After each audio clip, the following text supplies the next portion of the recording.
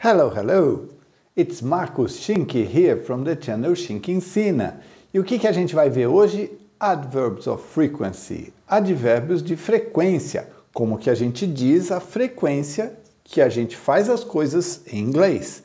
E como a gente está contando o tempo inteiro o que a gente está fazendo para os outros, vale a pena a gente aprender direitinho como descrever corretamente a forma de, de falar com os outros sobre as coisas que a gente faz na frequência que a gente faz.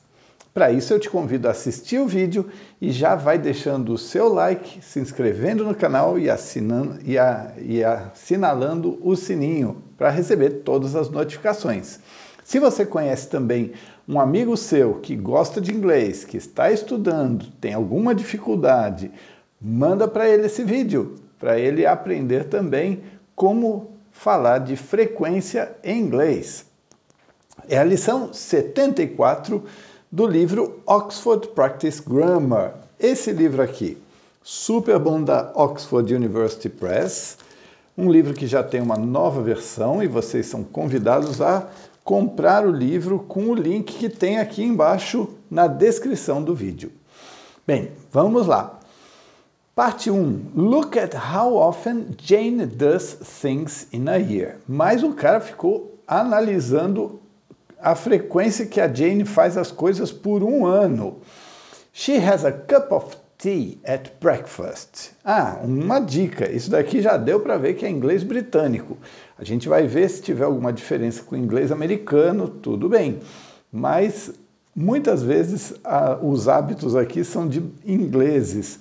E a Jane, inglesa, she has a cup of tea at breakfast 365 days a year. She goes to the cinema 10 times a year. Quase uma vez por mês. Pouquinho, né? She walks to work. never. She never goes to work on foot. She goes swimming 52 times, once a week. Uma vez por semana ela vai nadar. She goes on holiday twice, duas vezes por ano number of times she goes on holiday, two. We can say she always has a cup of tea at breakfast. She always. She sometimes goes to the cinema. She never walks to work. She goes swimming every week. She goes on holiday twice a year. Essas são algumas formas que a gente pode se referir a Jane as atividades que ela faz com a frequência que ela faz. Vamos ver em mais detalhes isso aqui. We use these adverbs to talk about how often or often we do things. Always, usually, normally, often, sometimes, rarely, hardly ever, never. São todos? Não, não são todos. Tem outros, como seldom, por exemplo. Mas a gente vai concentrar nesses daqui, nessa lição. We put always, usually, basically, them after verb to be or an auxiliary, have, must, ok? Então, se tiver um verbo auxiliar como have, must, um verbo modal, ou o verbo to be, a gente coloca o advérbio de frequência depois, after. Então a gente tem aqui os exemplos. He's always late. Not very good in England. I've often been to Spain for my holidays.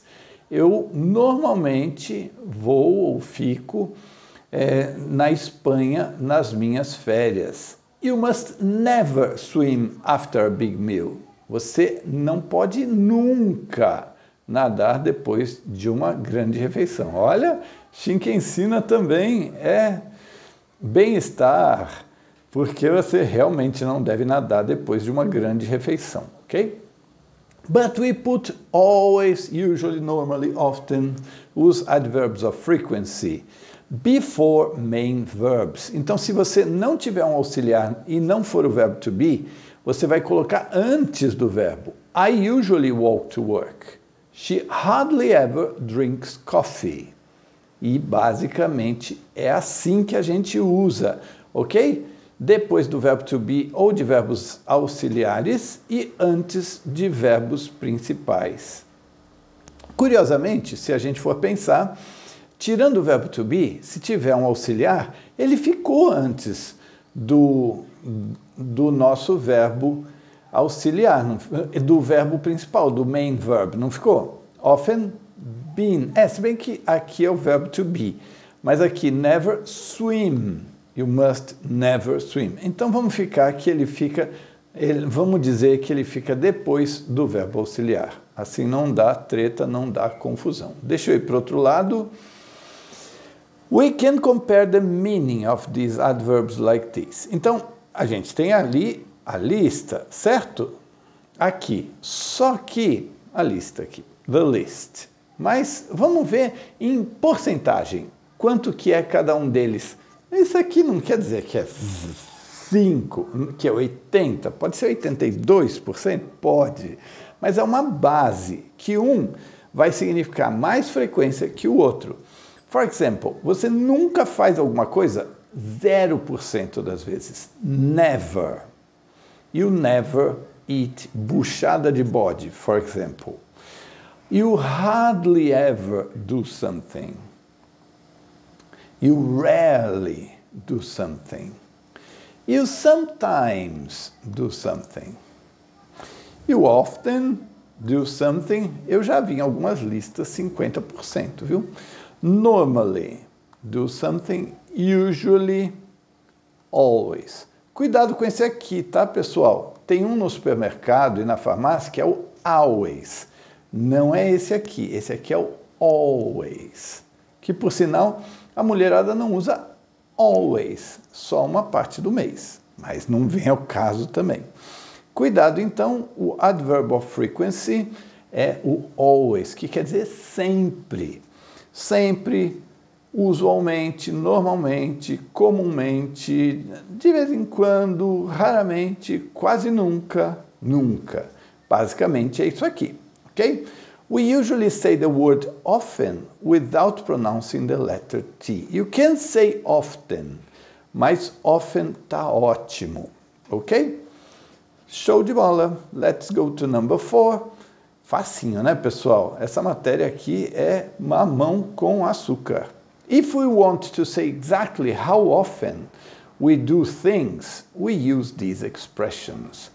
Every, once, twice, two times, three times, four times. Então, once a day, twice a week, three times a month, four times a year, every week, por aí vai. Então, toda semana uma vez, duas vezes, três vezes, quatro vezes, por aí vai. We put these expressions at the end of the sentences.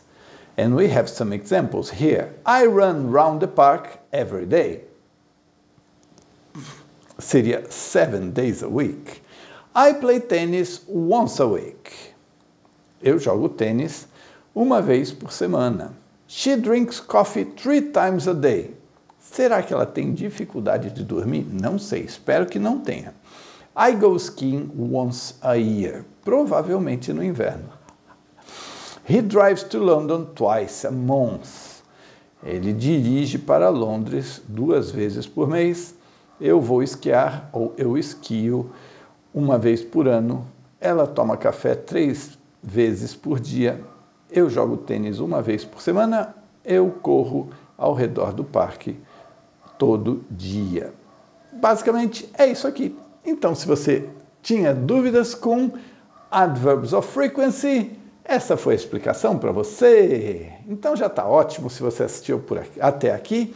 Se você puder, por favor, clica no gostei, inscreve no canal, ativa o sininho, ajuda a gente bastante que outras pessoas também aprendam essa matéria. Mas se você quiser treinar com a gente, fica mais um pouquinho, porque agora vamos ter a prática disso. A gente vai pegar o exercício e a gente vai praticar. e com isso a gente vai fixar a matéria. Isso é super importante. E a minha dica é a seguinte: houve a explicação de como fazer o exercício, igual aqui o exercise A. Deixa eu só mudar aqui e ficar para a direita para não ficar tampando as, o começo das frases. Aí você assiste a explicação, pausa o vídeo, faz o exercício e volta para ver as respostas. Que tal fazer assim? Desse jeito você vai treinar muito mais o seu inglês e pode ser muito interessante para você. Então eu vou aqui mudar a ferramenta para escrita.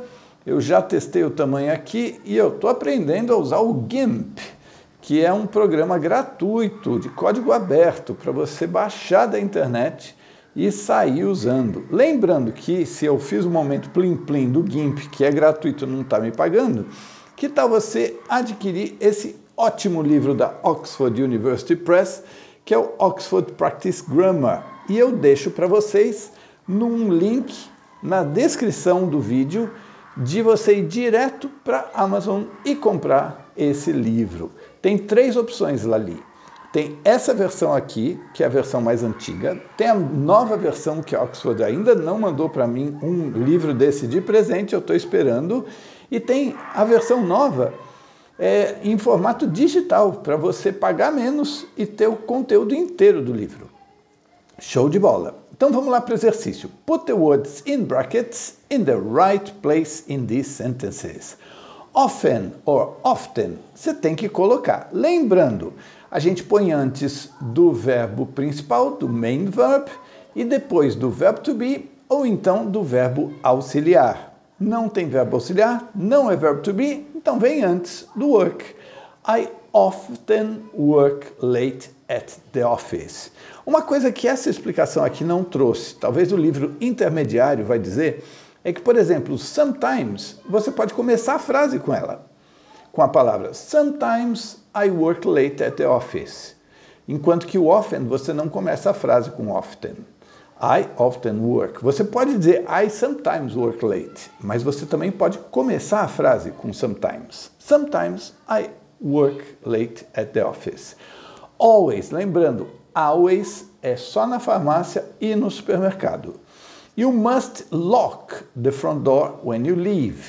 Aqui tem um verbo auxiliar, que é o must. Então a gente vai colocar depois. Vamos aqui escrever a nossa frase. E com isso a gente está treinando. Que tal? Você pausa, faz o exercício e volta para assistir. Eu vou colocar aqui a resposta. You. Vamos ver se ele vai aparecer a resposta. Devia, né? Será que está na cor errada? Ah, já sei o que está acontecendo. Está na cor certa. You must.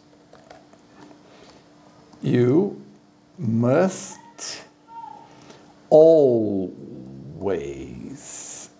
lock the front door when you leave. Leave, partir. Quando você sai de casa, você deve sempre, você tem sempre que fechar, que trancar a porta da frente. Ó, Shinki ensina utilidade pública, sua segurança em primeiro lugar. Steve and Jill play golf. Ah, deve ser um jogo bem legal.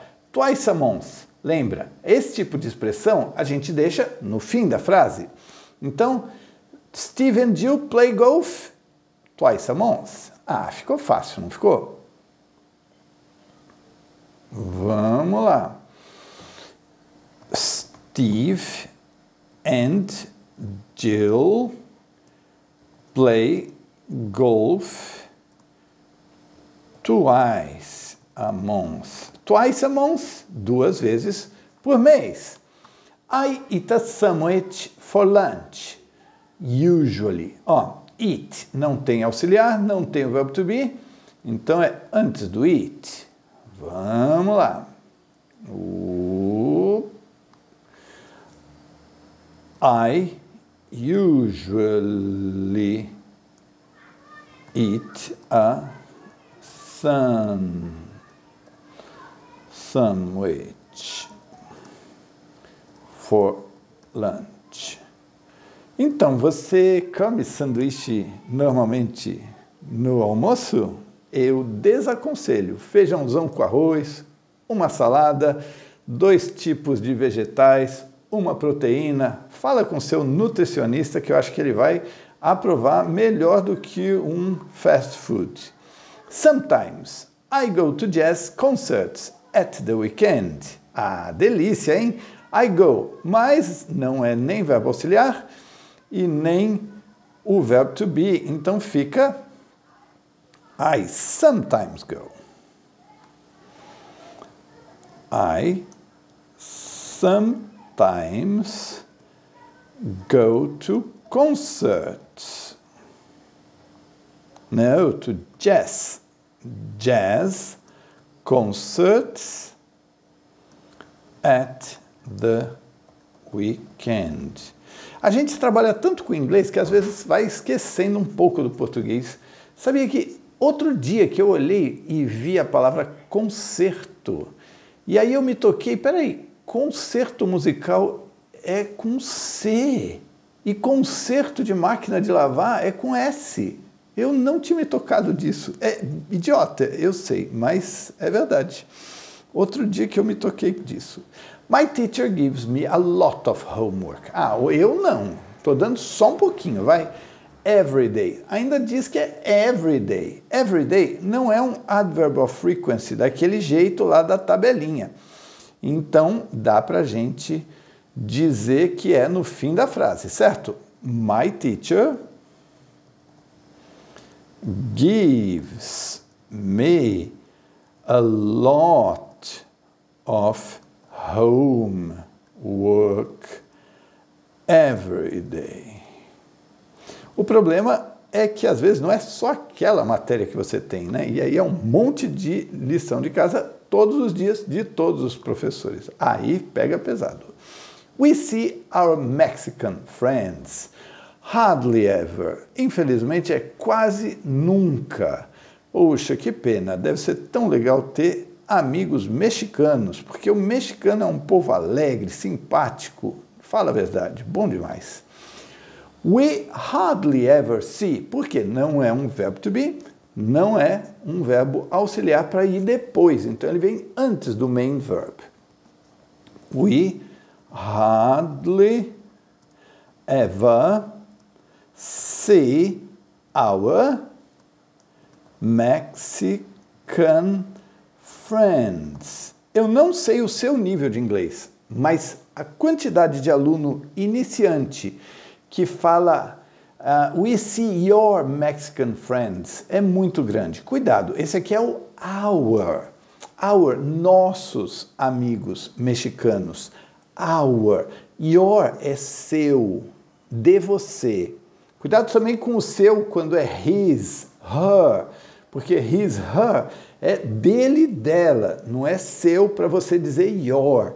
Então é his, her, your, our, ok? Tenta lembrar, é até igual a pronúncia com hora, hour, for, hours, Our Mexican Friends. Esse exercício, parte A, não acabou. Só um instantinho que eu vou para o outro lado para a gente terminar o exercício. Temos mais três frases.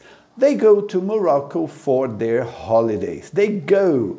Olha só, a gente tem aqui o verbo go e nenhum auxiliar e nenhum verbo to be.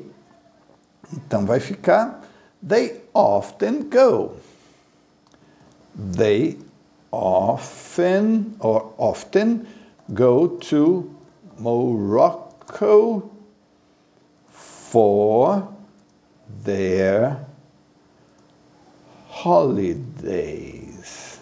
Imagina, você mora na Inglaterra, chuva, frio, tempo ruim, aí você tem a chance de ir para Morocco, Marrocos, com praias lindíssimas, clima maravilhoso, sol, calor. Ah, mas ir nas férias para lá deve ser maravilhoso.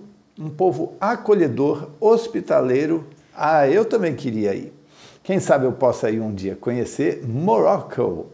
Bill and Marie go to the theater. Mas quantas vezes eles vão por ano? Four times a year. Bill and Marie, or Mary, or Marie. Quanto que eles vão? Aí esse tipo de expressão a gente põe no fim da, da frase, certo? Então vamos colocar. Eu estou aprendendo a usar aqui para não ficar tão lá em cima, não estou? Está melhorando. Com o tempo a gente fica mais ou menos. Bill and Marie, Marie or Mary or Marie go to the theater. Opa, cadê o H? Theater four times a year. Aí você vai dizer, mas theater não escreve assim, teacher. Para começar, teacher, ok? Mas então, é que no inglês britânico você tem o TRE, enquanto no inglês americano você tem o TER. A pronúncia é a mesma, tá? Mas basicamente é isso que acontece. Deixa eu ver se eu consigo. Não está saindo. Deixa eu ver se eu consigo fazer de outro jeito aqui. Acho que agora vai. Vamos ver se o programa contribui. Então vou colocar aqui, ó. Que no American English é theater. Ok? Mas no inglês britânico é theater nesse spelling aqui. They are at home in the evening.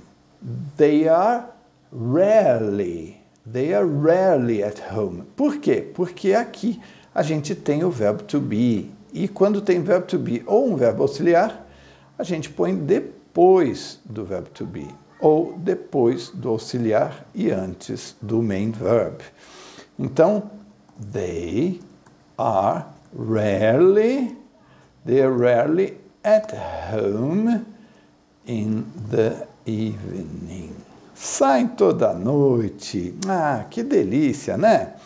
Bom demais. Eu não vejo nada de errado nisso. Ok.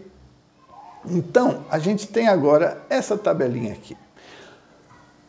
Exercise B. Look at the table below. Find the correct adverbs from the table in section 3. Qual que é a table da section 3? Essa daqui, ó.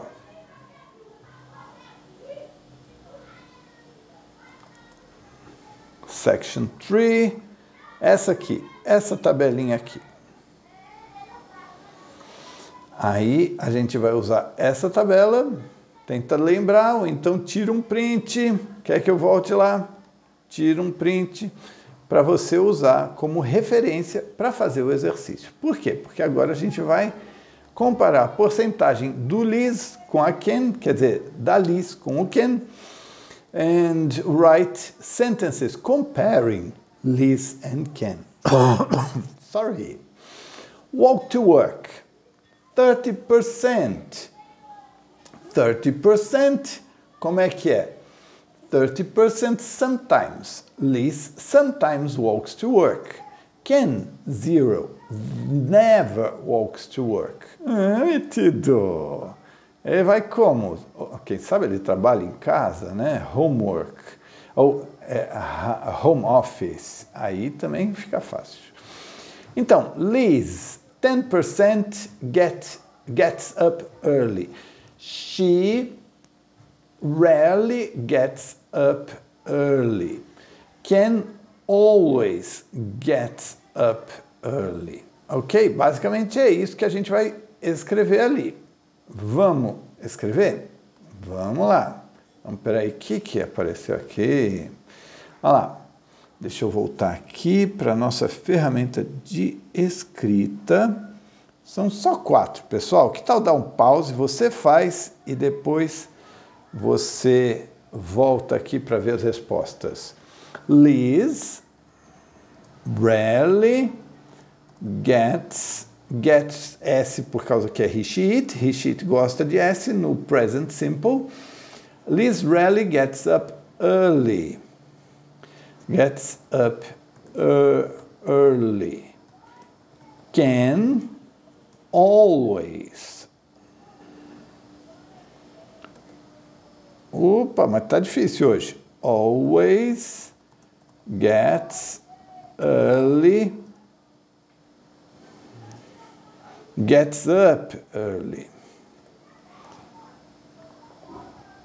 Gets up early. Liz rarely gets up early, can always gets up early. Agora, number two. Number two. Here we have watch TV, 70%. Often, right? Three, 30%. 30% é igual a Liz lá no começo. Uh, sometimes no, yes, sometimes. So Liz often watches TV. Can sometimes watch TV. Então vamos escrever de novo. Vamos lá. Aqui.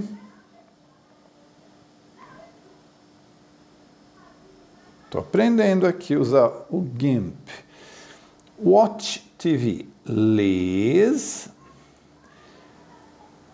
often watches TV,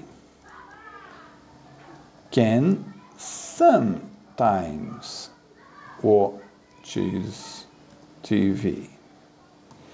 All right, take a taxi. Can, Mukirana, nem vai, não vai a pé para o trabalho, mas também não pega táxi. Como será que ele vai? Deve take a tube. Vai que ele vai de metrô ou então ele vai de ele vai de bus, busão para o trabalho. Vamos ver como é que fica. Vamos ver. Liz hardly ever. Vamos ver. Rarely, 10%, rarely. Liz rarely takes a taxi. can never takes a taxi.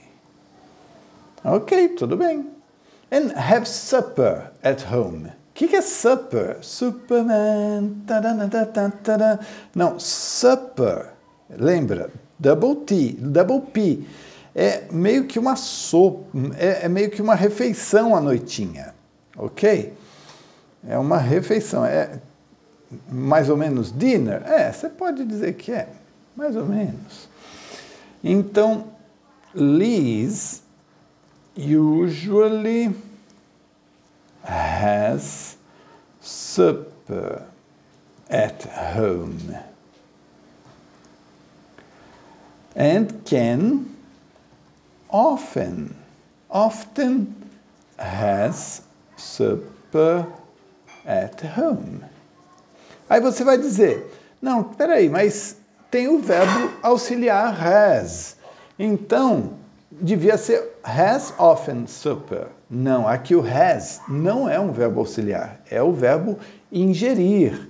E aí não é, ele é o main verb aqui, por isso que vai antes, ok? Look at the table below about John's activities and write sentences using the words in brackets and the present simple. Swimming, a newspaper, read, vai ser read, né? O buy aqui. He goes swimming twice a week. Ó, duas vezes, twice. Once a week, three times a week, twice a week, twice a week, once a week, three times, four times a week. Ok? Vamos ver aqui. Então ficou he buy he buys a newspaper once a week. Ou é o dia um, um dia por semana, um dia. Se fosse sete dias, seria seven days a week. Once a day. Ah, uma vez por dia, tá certo. Se é uma vez por dia, todo dia. Tá certo, os dois funcionam. Vamos lá. Então, vamos lá. He buys a newspaper every day. Uma vez por dia, every day, todo dia. Or once a day. Para que comprar duas vezes por dia? Once a day. Ok? He phones his mother three times a month. Filho degenerado, nem para ligar toda semana. Tadinho, não, deixa para lá. Às vezes ele visita a mãe toda semana, né? He phones his mother three times a month. E he a shower. Eita! Toma banho duas vezes por dia. Tá certo, às vezes ele faz natação. Aí ele toma uma vez por causa da natação e outra vez antes de dormir. He has a shower. He has a shower twice a day. Podia ser two times a day? Pode, mas que tal twice a day? Agora você vai dizer, mas não é take a shower? Então, no inglês britânico é mais have a shower do que take a shower, ok? He goes abroad. He goes abroad once a year. Ele vai fazer compra no Paraguai uma vez por ano. He goes abroad. Ele vai para o exterior. He goes abroad once a year. He visits his sister. He visits his sister three times a year. He visits his sister three.